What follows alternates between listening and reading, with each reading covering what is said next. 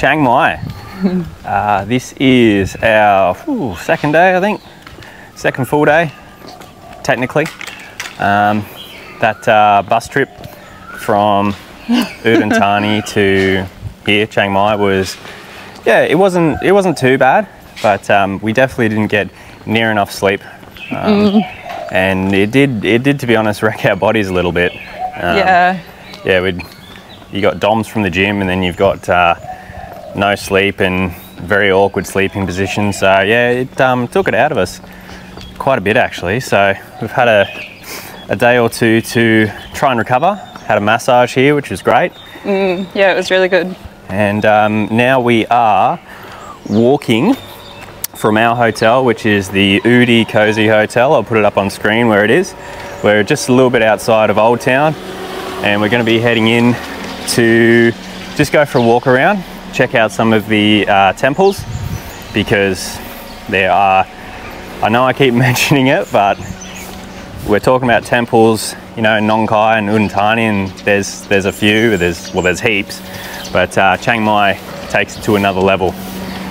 And uh, as a result, the the old town and the surrounding areas are absolutely gorgeous. It's pretty amazing, the uh, architecture and the scenery around here. But I digress. We're going to walk into Old Town and have a look around.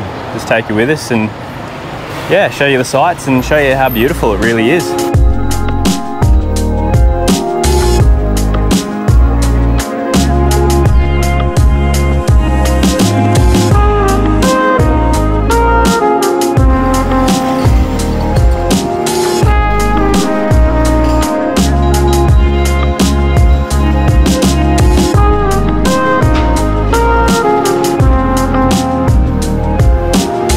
As you'll see, not all parts of Chiang Mai, but uh, a decent amount don't really have footpaths and the roads, they're not too narrow, but uh, with traffic on either side, cars parked and also pedestrians, can get a bit, um, a bit congested, even if it's this early in the morning. So yeah, just uh, best to keep your head on a hard swivel and uh, be aware of your surroundings because you could easily get cleaned up.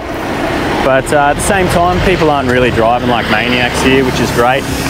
Not like uh, Bangkok and Pattaya and such. So feels feels a bit safer, but still, uh, one false step and you could quite easily do yourself a mischief.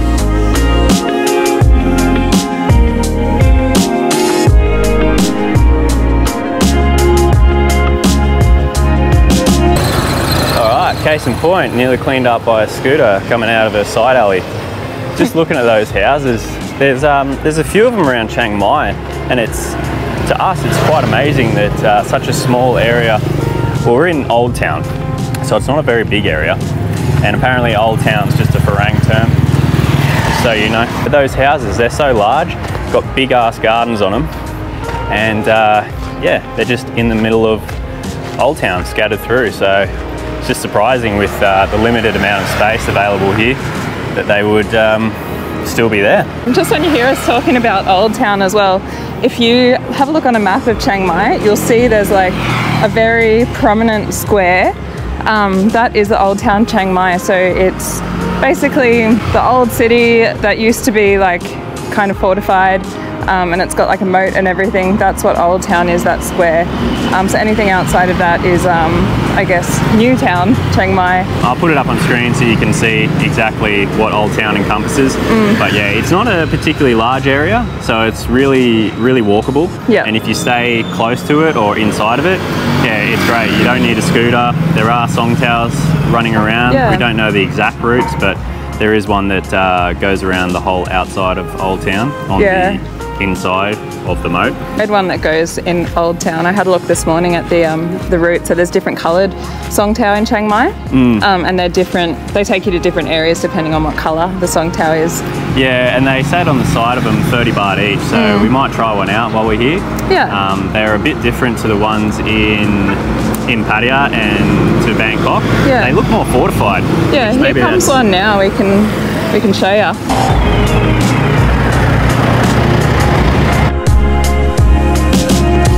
Pit stop already. We're about 20 minutes in, and um, yeah, she's hot as balls out here. Today it's going to be a top of 40 degrees with um, a little bit of humidity on top of that, but it doesn't seem to um, raise the temperature too much, which is, I guess, pretty good, but still 40 degrees, pretty hot. This isn't the, the high season in Chiang Mai. That is uh, November, December, January is usually the high season.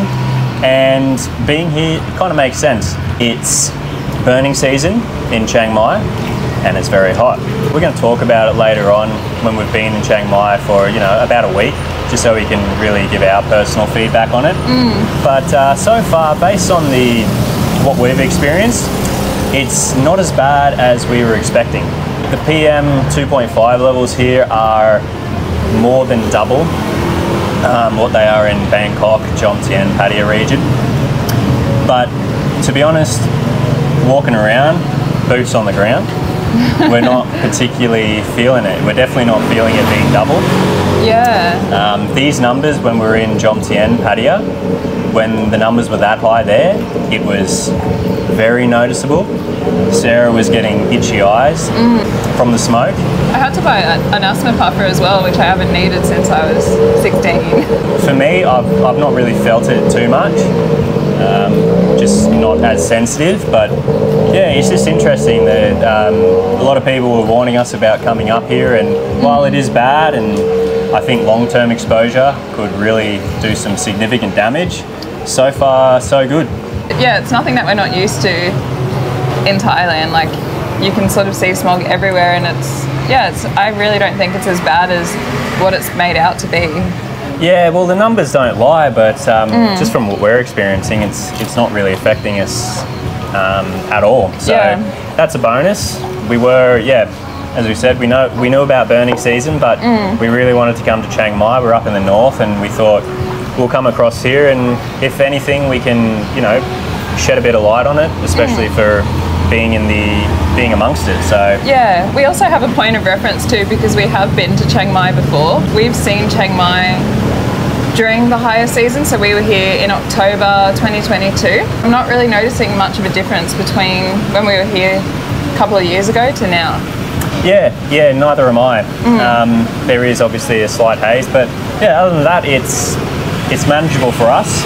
We're not choking on the air we breathe, so yeah, we'll finish these coffees and uh, carry on.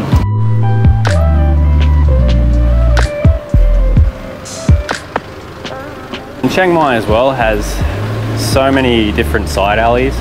And yeah, they're really beautiful. Nice and peaceful as well, aside from the car driving right beside us and the two vans ahead. but um, yeah, if you want to get off the main road, there's plenty of options to just zigzag through um, in between the main roads and just take your, take your time down these side alleys and see what you can find.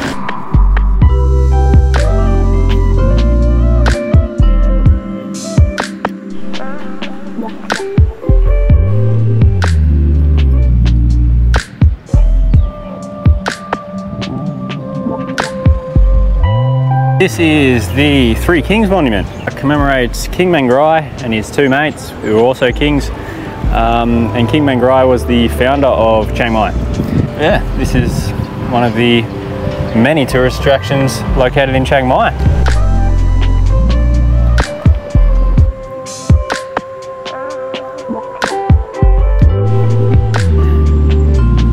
So you care to explain? Oh my god. I was looking at this sign and I was like, Ahame. What the heck is that? I've never heard of that before. And then my brain went, oh, it's Yamaha. Ooh, see what I have to deal with. You love it.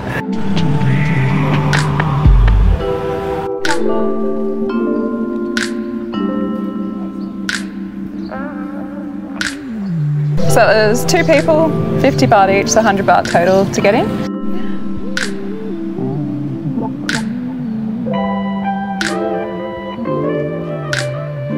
that tree is absolutely massive and it's just in the middle of um, Chiang Mai. It's crazy.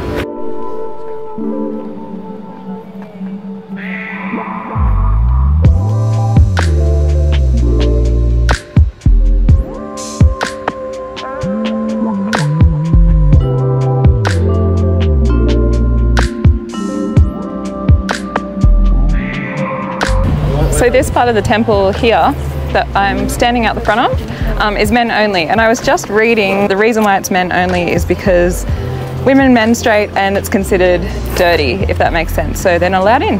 Yeah, that was amazing in there. Just took a little footage with the phone. Um, the intricacy and the, the paintings on the wall with some gold intertwined into the um, into the paintings. Yeah, it was absolutely beautiful, and it was cool as in there too. One single fan running, but it was probably like 10 degrees cooler in there than it was out here. So yeah, pays Can't to be a to man. see. Can't wait to see the footage. yeah. Sorry.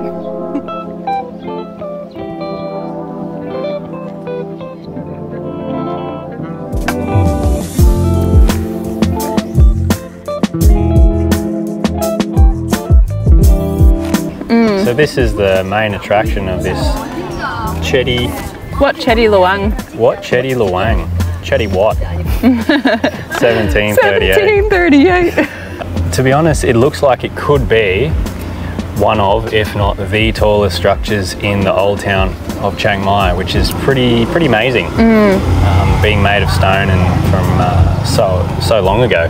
Yeah, it's absolutely amazing. And the the Naga, I think they're supposed to be Naga that are um, at the bottom of the the stairs or the slopes. Uh, the intricacy on those is amazing Yeah. um, the amount of time and effort that would have gone into uh, crafting crafting those, especially back when they would have been um, would have been made, is yeah that that that's crazy. That would have taken so long. And when you come into temples, what's in in Chiang Mai or anywhere in Thailand, it can be a great reprieve from the the noise and the All the distractions and stuff of the city. you're pretty close to everything. I mean, you're only Mm. F 50 or so meters from the road, but it just it just gets so quiet. Yeah, and it forces you to just sort of be in the now. Like you, you're looking at this beautiful temple. You're not walking around thinking about like what I'm going to have for lunch or like whatever. You're just here admiring the temple, and yeah, it's just really nice to come in and appreciate it. We are in the moment, which is Yeah. yeah, it's it's it's beautiful. Mm. It's, it's a nice reprieve from from being in the city and all those distractions, all those loud noises. It's a ripper. It's a ripper of a temple, Ricky. So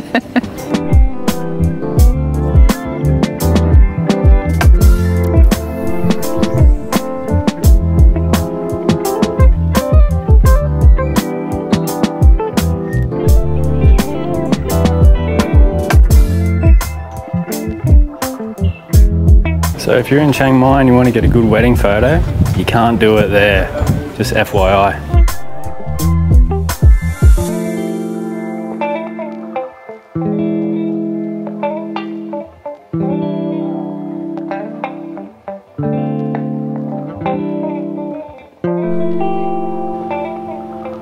So just as I say there's no dogs, we find three of them just here at the um, Monk Chat, which we actually did when we were here last time, but it wasn't at this this temple. It was one that's slightly outside of the old town, but uh, the day was run by a Pra KK, and it was yeah, it was amazing. Yeah, it was awesome. Yeah, we did like a meditation course as well, which was really cool. different types of meditation, um, walking meditation, moving meditation, and the regular sit down and meditate meditation, and also learn more about uh, Buddhism and um, yeah, how it's more of a philosophy as opposed to a religion, from the words of Pra KK. So yeah, if you're in Chiang Mai, we um, highly recommend doing it. You can do a half day, full day. You can do I think they have overnight, so you know, two days, one night. But yeah, it's um, it's valuable insight, especially in this country where Buddhism is the main religion.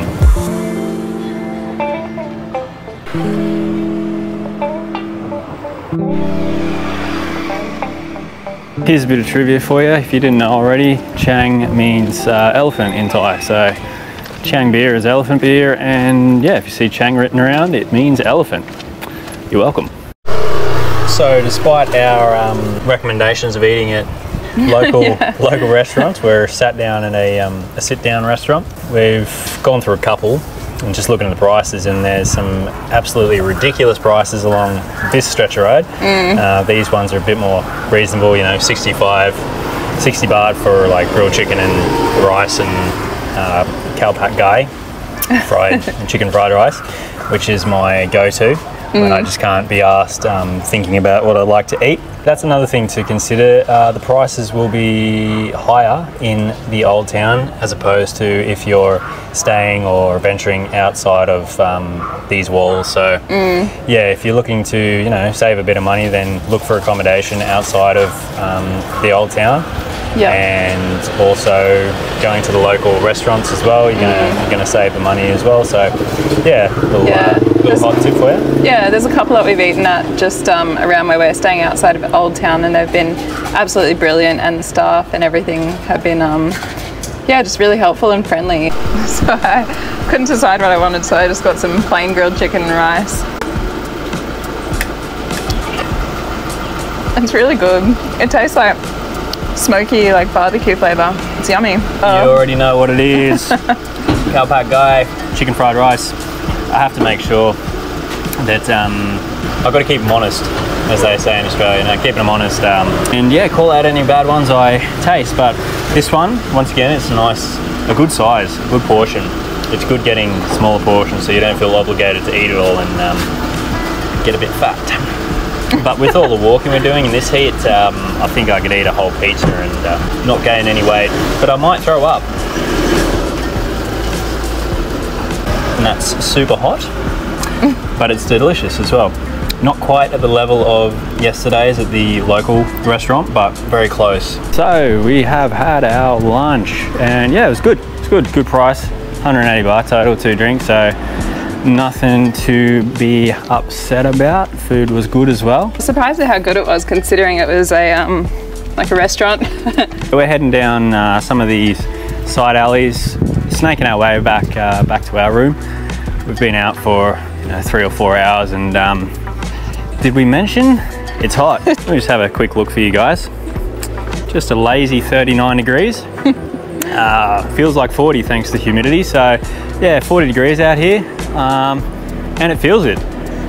But Definitely. yeah, yeah, but uh, you know that's that's the temperatures of this time of year. I think they're a bit bit warmer. I think there's a slight slight heat wave happening at the moment, but uh, regardless, it's it's going to be hot this time of year. So For sure. We wouldn't be proper Aussies too if we didn't constantly complain about how hot it is. So that's it. we're we're trying to really um, really bring in the the not only the Aussie but also the British market.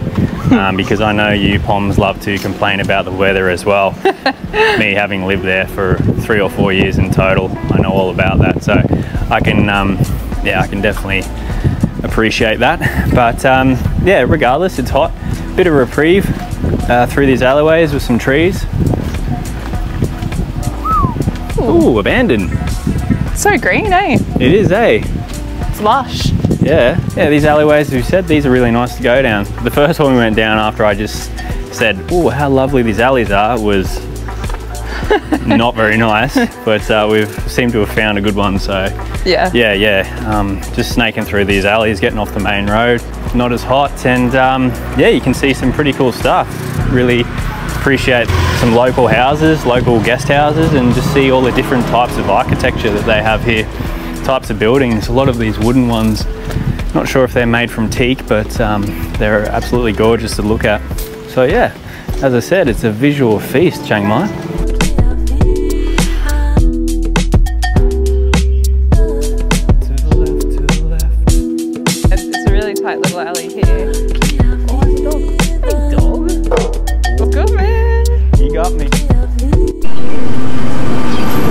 If you don't know what that is, It's durian. it's durian just growing in this alleyway. Yeah, I've never seen it growing in the wild before, so it's pretty cool. But um, If you know durian, you know it's disgusting. me. unfortunately, it's banned in our hotel room. So 2,000 baht fine, Yeah. so we couldn't even pick one off there and take it back to the hotel room, or else they'd probably call the police on us, to be honest. I'm So- off it.